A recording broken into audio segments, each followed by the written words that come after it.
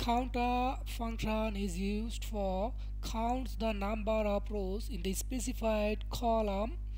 uh, that contain non-blank values. That means you, you can count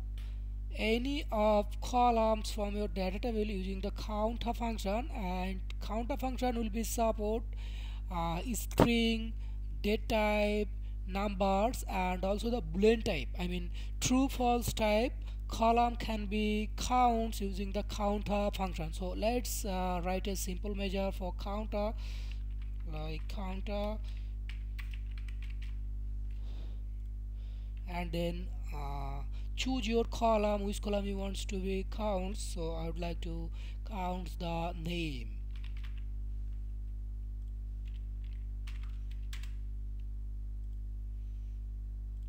so using the COUNTA function it returns a value and if there have any uh,